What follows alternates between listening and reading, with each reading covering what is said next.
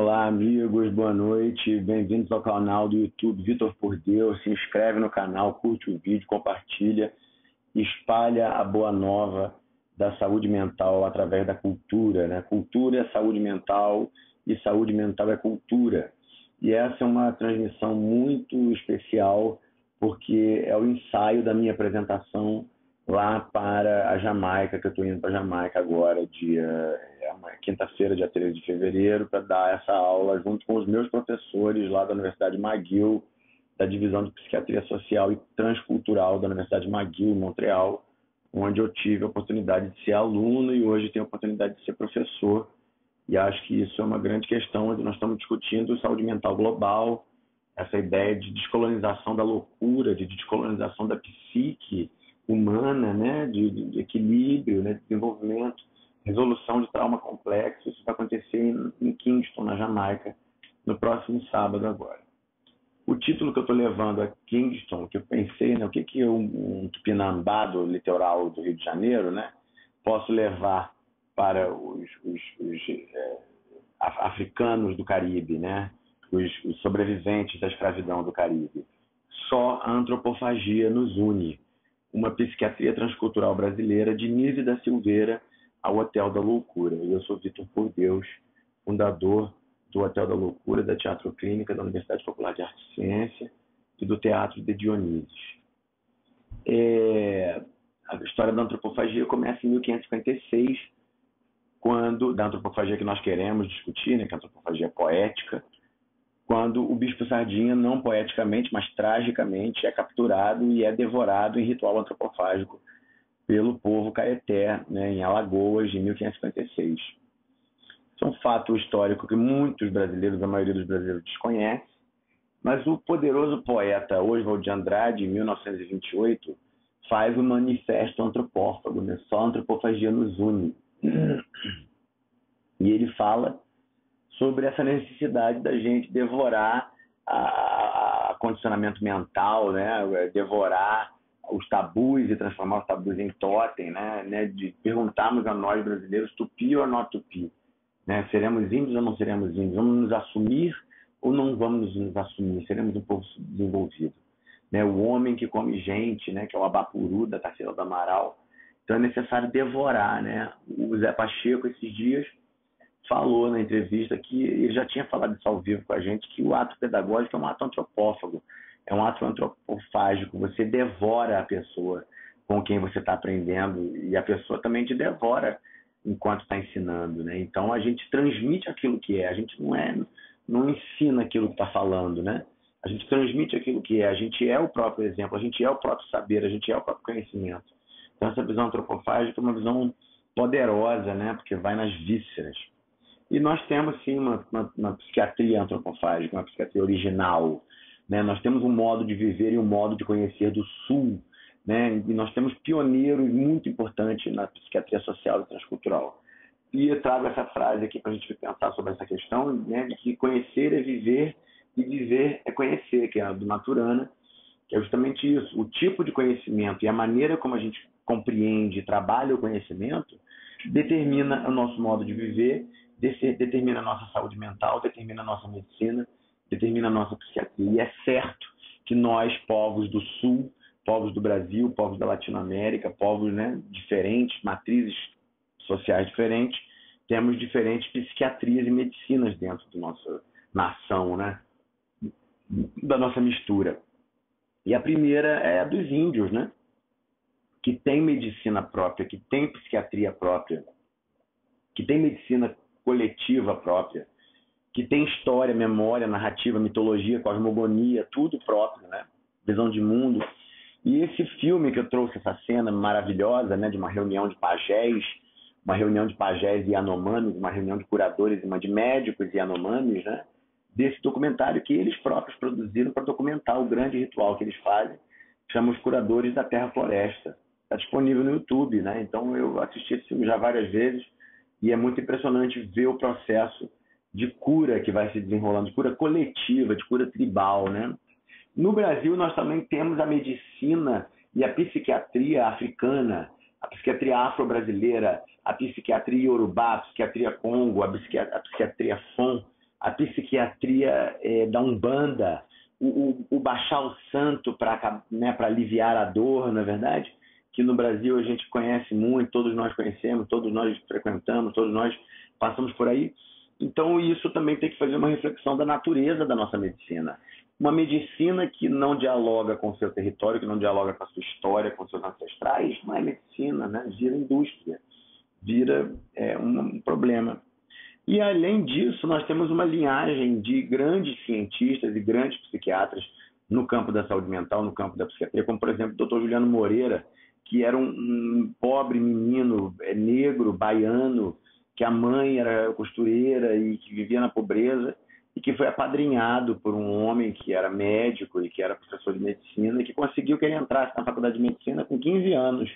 E ele se forma com 22 anos e vem para o Rio de Janeiro estuda e pesquisa, começa a dar aula, viaja o mundo inteiro, trabalha com os grandes psiquiatras do mundo, volta para o Brasil, trabalha e um homem que fez, fez a defesa é, é, dos negros, fez um ataque contra o racismo dentro da medicina, um ataque contra o racismo dentro da psiquiatria, o racismo científico, né, que ele lutou contra isso.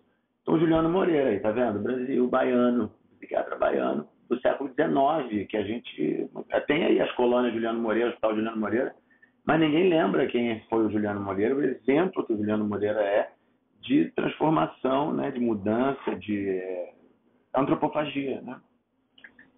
Dr. Ulisses Pernambucano é outro exemplo disso, também nascido no século XIX, mas né, nascido em Recife, em Pernambuco, foi um grande pioneiro no campo da psiquiatria social, no campo da educação e da saúde mental, no campo da higiene mental.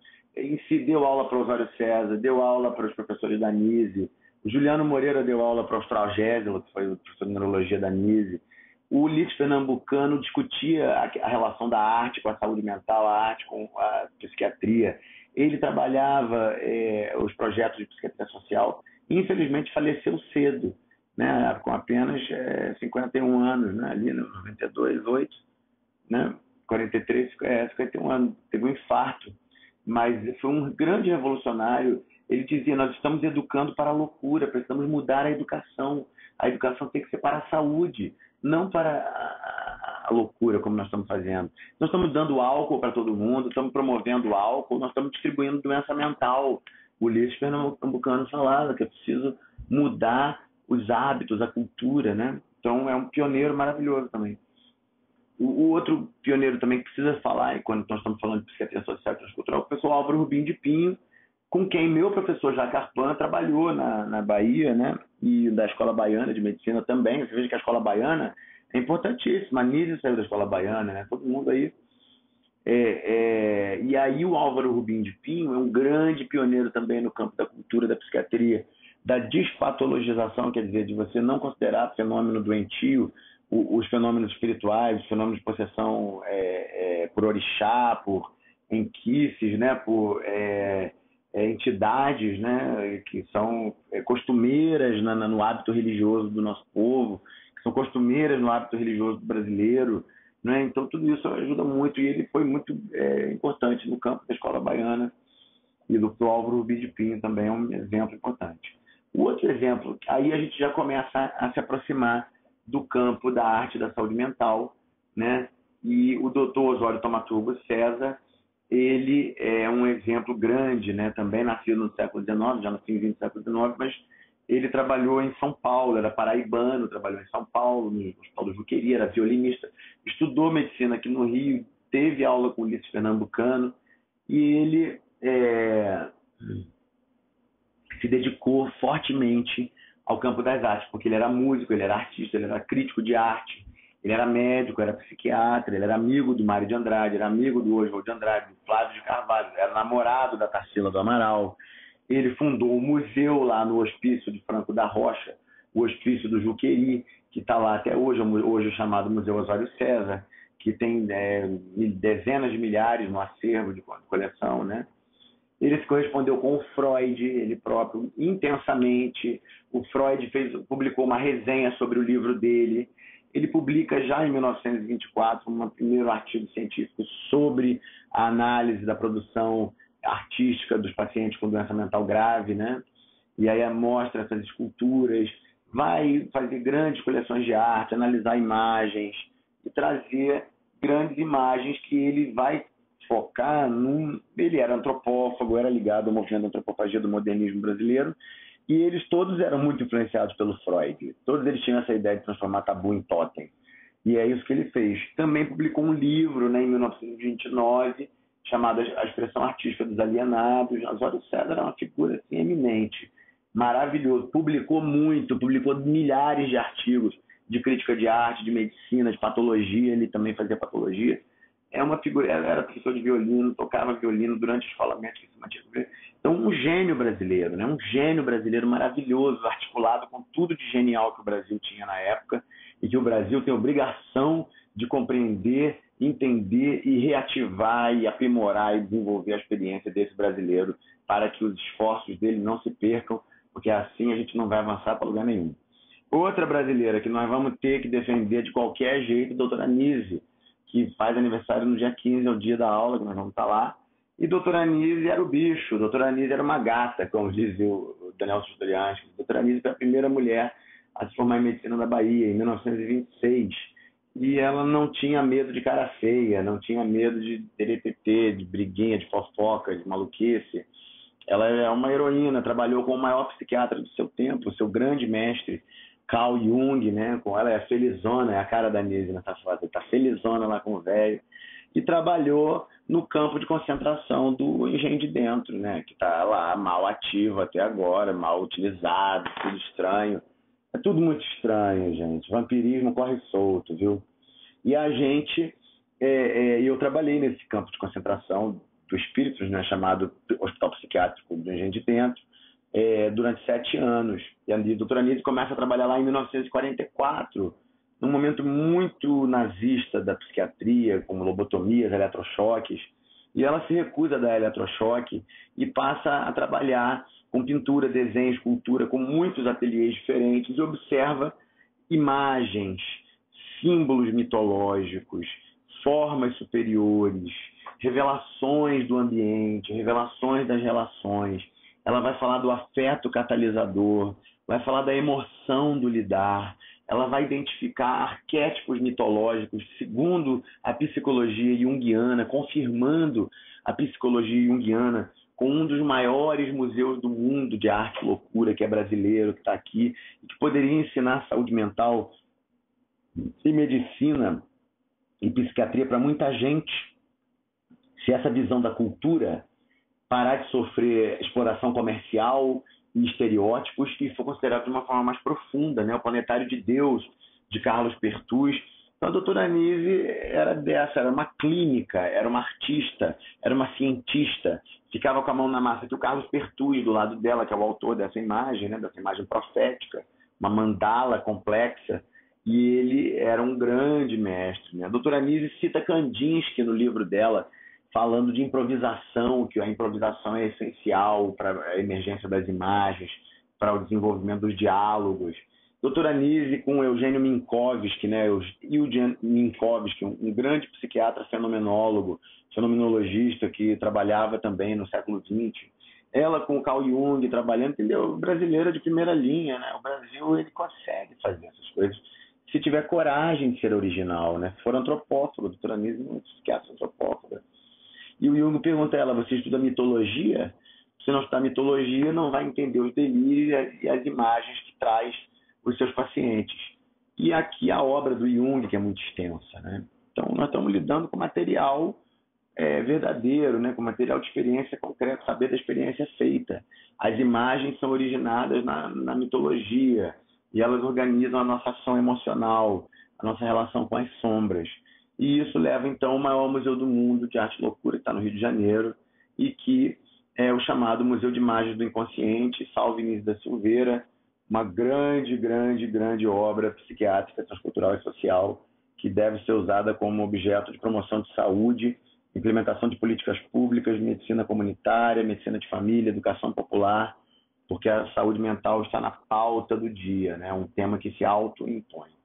Nossa experiência ficou conhecida como o Hotel da Loucura e o Teatro de Dionísio, que consiste na, na ocupação de espaços públicos através de cenopoesia, de ação cultural para a liberdade, de pedagogia para a autonomia, de diálogo, de construção compartilhada e de trabalho expressivo. Né? Todo ser humano é artista, todo ser humano é cientista e a UPAC, a Universidade Popular de Arte e Ciência, é o grande guarda-chuva né, que traz essa ideia quando, por exemplo, o professor José Pacheco trabalhava conosco dentro lá do Hospital Psiquiátrico do Gente Dentro e nos ajudou a desenvolver uma comunidade de aprendizagem por sete anos de trabalho, de 2009 a 2016, que ainda formou muita gente que está ativa e que nós estamos ativos trabalhando.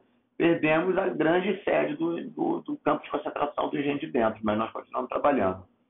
Outra figura que eu quero falar é Humberto Maturana, né? Está no centro da imagem aí, que é neurobiólogo, nosso mestre. Professor Nelson Vaz, que é imunologista, aqui em Chile, no Chile. Eu estou aqui no campo direito inferior, com 27 anos, recomeçando né, o meu ciclo profissional com esses grandes mestres da biologia.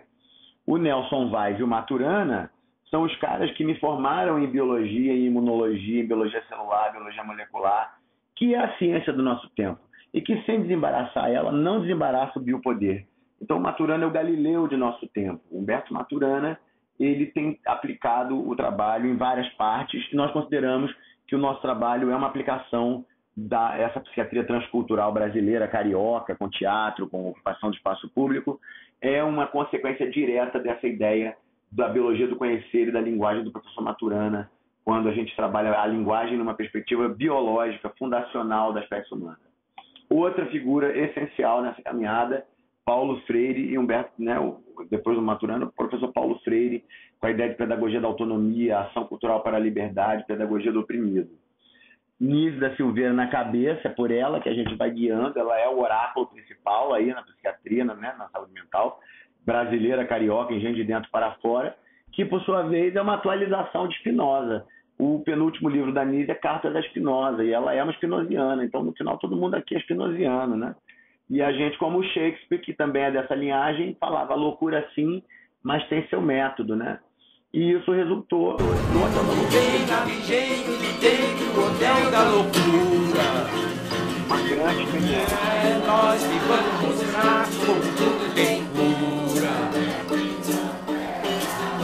Seguras e sana com água. Mas o remédio fizemos e vamos continuar fazendo. Né? Aí, aí veio o Hamlet em 2014 né? O Hamlet entrou, a loucura assim, mas tem seu método. Veio a BBC de Londres, que filmou um a gente. It's nearly showtime, and these thespians are busy warming up ahead of tonight's performance of Hamlet. But these performers aren't professional actors. They are patients at a psychiatric hospital in Rio. Many of the members of this theatre group suffer from mental health conditions, including severe schizophrenia and chronic psychosis. Vita Pordeus is the actor's doctor, but is also their director and acts alongside them in the plays. He founded a collective called the Madness Hotel. He believes that this collective provides a way for his patients to explore their emotions and feelings and says his technique cures them. I believe that theater cures because through the debate of the relationships of the person, we can see the evolution. Funciona mesmo. E a gente também fez as manchetes do Brasil todo, né? Então anunciamos o que pode ser e o que virá. É, também geramos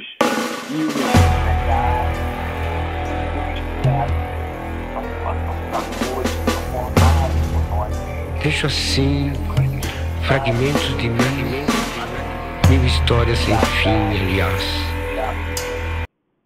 Isso me levou até a Dinamarca, no Castelo do Hamlet, para trabalhar com a comunidade, com as pessoas que estão lá trabalhando. Nós continuamos fazendo exatamente as mesmas coisas, os mesmos cortejos. Continuamos trabalhando no arcoador. Agora, mais no arcoador do que nunca, né? Terça, quinta e domingo, às 5 horas, a gente concentra, trabalha com quem estiver com os clientes, com as pessoas, com morador de rua, com os artistas, com todos que estejam interessados em diálogo, livre expressão, é, é, anamnese, é, trabalho né, de construção coletiva, né, cortejos. E a gente tem aí os melhores atores do mundo, né, como diz o Hamlet. O Reginaldo Terra, né, 70 anos, que ficou 58 anos né, dentro, encarcerado dentro de campo de concentração do espírito que é o hospital psiquiátrico. Aqui é ele dando barra. Reginaldo Rodrigues Serra. É. Eu sou da Índia. Eu gosto de arte, gosto de rock, gosto de tudo. Aqui a gente está fazendo um teatro agora. E quem puder entrar, entendeu? Para dançar, pode entrar, dançar, entendeu? Que não tem nada. Não tem coisa nenhuma. Eu estou fazendo o rei Hamlet. Eu sou o rei Hamlet. Libra que me indicou, hoje usa minha coroa. Quando eu estava dormindo no meu jardim,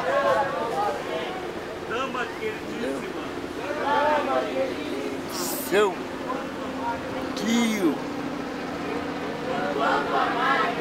botou veneno no meu ouvido e eu faleci.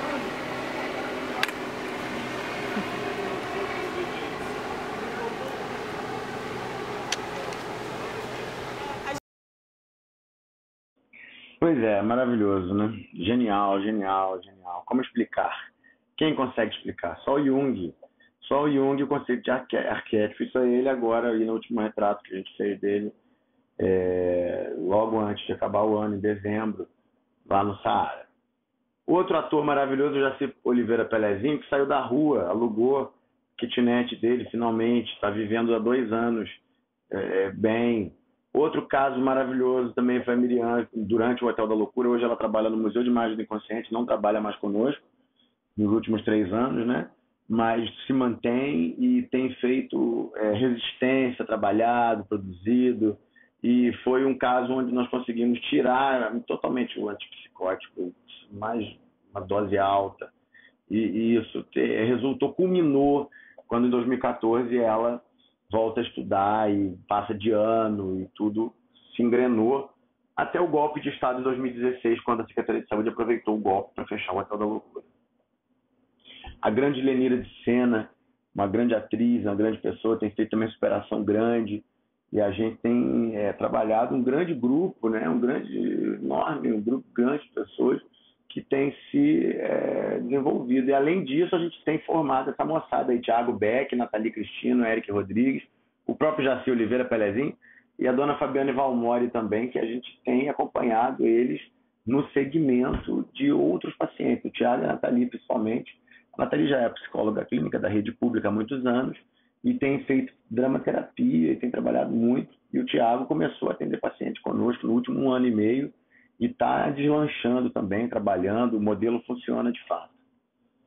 E aqui a gente está o último espetáculo que nós estamos aí trabalhando no Arcoador, terça, quinta, domingo, as Bacantes.